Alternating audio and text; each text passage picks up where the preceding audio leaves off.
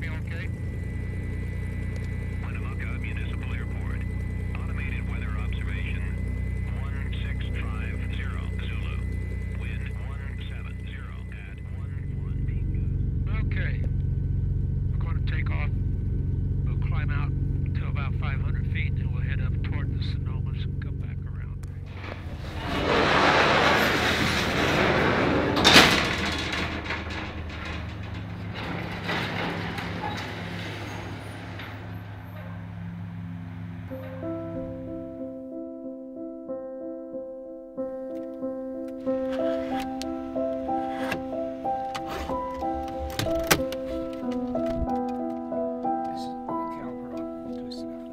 My name is Leon Franklin, and uh, I'm originally from Kansas. Spent 23 years in the Air Force flying all over the world. Flying for me, it's a, it's a challenge because every flight, every landing's different. Either the wind's a little bit different, the temperature's a little bit different, the runways are a little different, you know. So it's a challenge to me.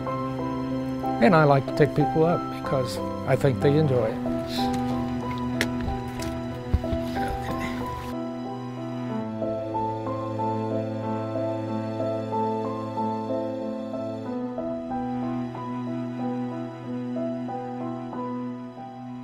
Was a truck driver from I was 10 years old till I was 85.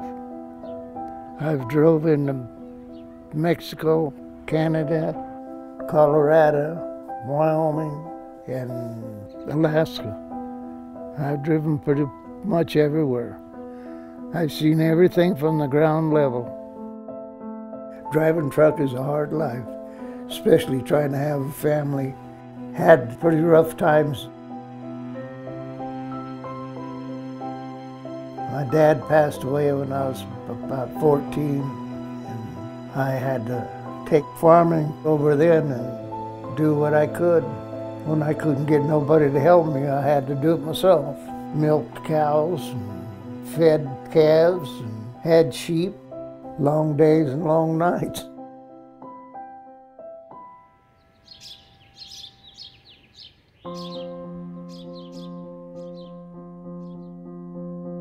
When I was a boy, I looked up in the sky and seen an airplane, and I always thought I wanted to fly one of them. That's something I would love to do, just, mainly to see what it was like.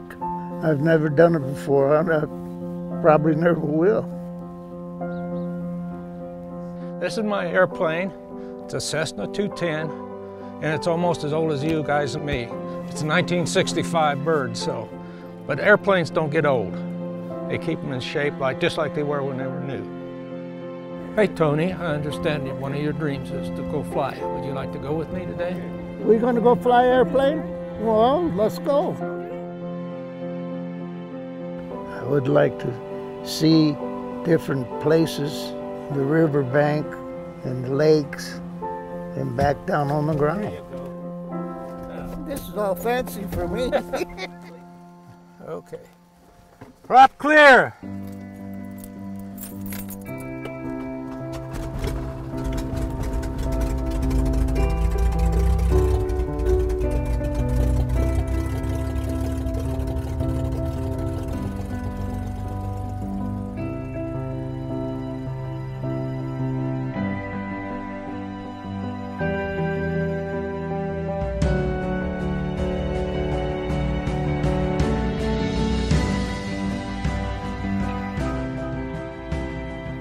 I've seen it pretty much from all from the land.